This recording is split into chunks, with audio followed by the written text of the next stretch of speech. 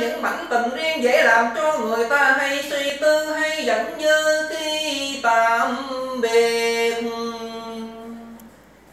Dù biết mai đây người đi sẽ trở lại, nhưng vẫn ngại vẫn lo sợ chim trời tung cánh. Biết có còn nhớ tổ ấm cành xưa hay biến cuộc tiễn đưa thầm đường bay thầm thầm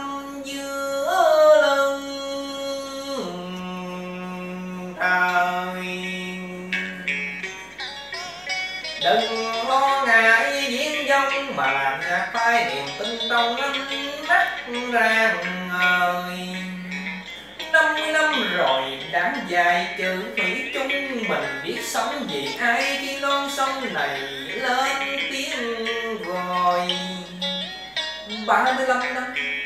ba mươi lăm năm sớm làng trầm lửa lòng son